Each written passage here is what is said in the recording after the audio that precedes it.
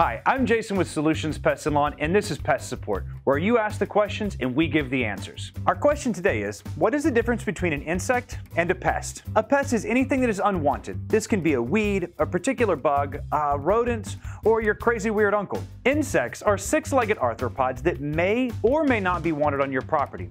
Believe it or not, there are beneficial insects. It means that when you see something, whether it's an insect, a weed, a rodent, or something of the sort, consider is it doing direct harm to me or my property?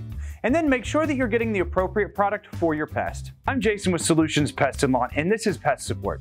If you have any pest control questions you need answers to, or have any pest related problems you need help with, stop by one of our stores, visit our website, or give us a call and get help today.